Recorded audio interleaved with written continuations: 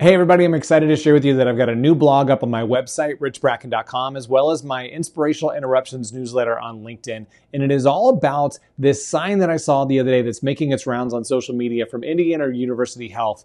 And it is this sign that I think we wish we all had at our workplace. And it is really all about the concept of emotional contagion. That's the energy that comes into a room with an individual. And it's either positive or negative, but really it's all about how individuals will absorb and sometimes even imitate the behavior and mannerisms of those that are that are spreading that emotional contagion.